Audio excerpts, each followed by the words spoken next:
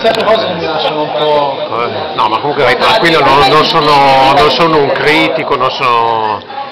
Beh, niente, siccome mi dicevano che sei un gran tifoso del Parma, eh, volevo sapere come mai tu, Jacopo Nardi, che gestisci questa azienda vitivinicola, eccetera, eccetera, come mai tifi Parma, tanto per cominciare?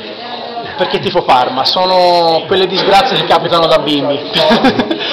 nel, senso, nel senso che, vabbè, innamorato delle- dei vecchi campioni una volta, Zola, Spriglia e compagnia bella, mi sono ritrovato da, da bimbo ad appassionarmi a questa squadra.